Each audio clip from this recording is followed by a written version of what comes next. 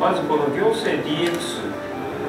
市長のことで進めることによって、えーと、何が変わったか。はいこれで申請の手続きが終わりました。言われて私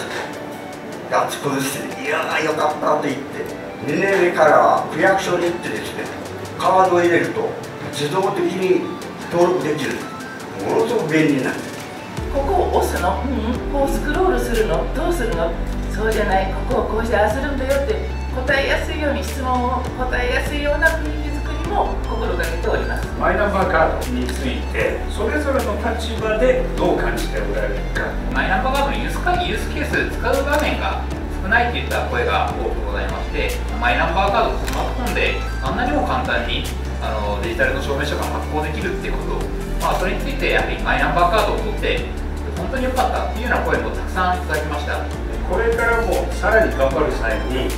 えーと、国とか自治体からあとこれを応援してもらうと大変ありがたいなとかこう日本の全体としてもデジタルを活用することでこういう未来長期的にこういう世界になっていくみたいなところが全員共通認識を取ってくると、まあ、よりデジタルを活用していくところに対してポジティブなエネルギーっていうのを回していけるっていうのがすごく僕は重要だと考えています。あのやはり私たちはスペシャリストだと思ってやってるのでたくさん私たちをあの利活用していただければあの私たちもそのフォローアップをできたらいいなと思っております。行政としてその社会全体のリテラシーを底上げするような施策をやっていただけるといいかなとあの私たちの、まあ、サービス提供という観点で言いますと非常にリテラシーが高い低い方々のサービスを提供しているというところもあって一般的にそういった方々に対してサービス提供しようとするとなかなか事業として成り立ちにくいっていうところで、まあ、大企業だったりリテラシーが高いところにサービスが集中してしまったり結果、まあ、リテラシーが低い方が取り残されてしまうという状況もあるかなと思っています。デジタルデバイドリテラシーあの、まあ、社会の底上げ誰一人取り残さない、まあ、そういった考え方